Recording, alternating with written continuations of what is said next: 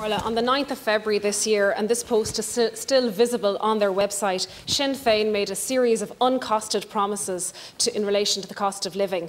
This is a pattern that has become all too familiar for the Sinn Féin party. In their alternative budget last October, they committed to spending 3.2 billion euro over and above what this government committed to. Again, more uncosted voodoo economics.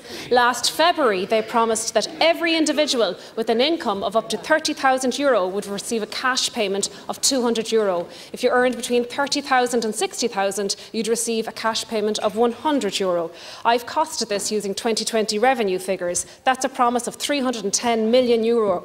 euro. Nowhere uh, was, there, was that promise uh, costed or an explanation given as to how or where the money would come from.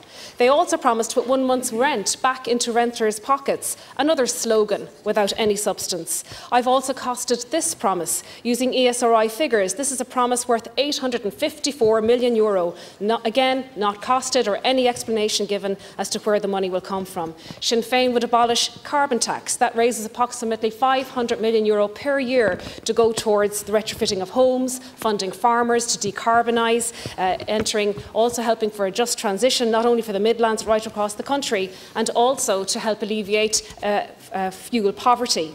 In total, in a series of promises, we have uncosted and unexplained spending of over 1.6 billion euro in one press release alone.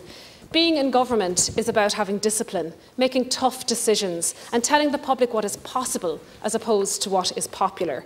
Government cannot run on slogans or on irresp irresponsible spending commitments. Ceann Comhairle, Sinn Féin are like the Muppets, Statler and Waldorf heckling from their uh, balconies and offering absolutely no uh, viable solutions for the people of Ireland. Thank you.